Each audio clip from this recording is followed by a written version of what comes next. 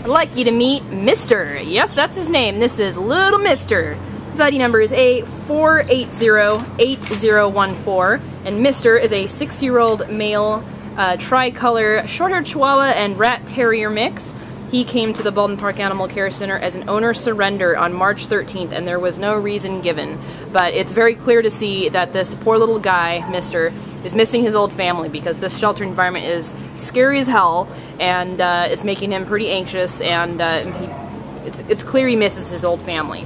Um, he weighs about 13 pounds, um, and it's clear that he wasn't a home before because it, it seems that he may be house trained. He showed some signs of it earlier. He walks fairly well on leash. Um, he's definitely a, a, wonderful, inquisitive little guy, even though he's scared here.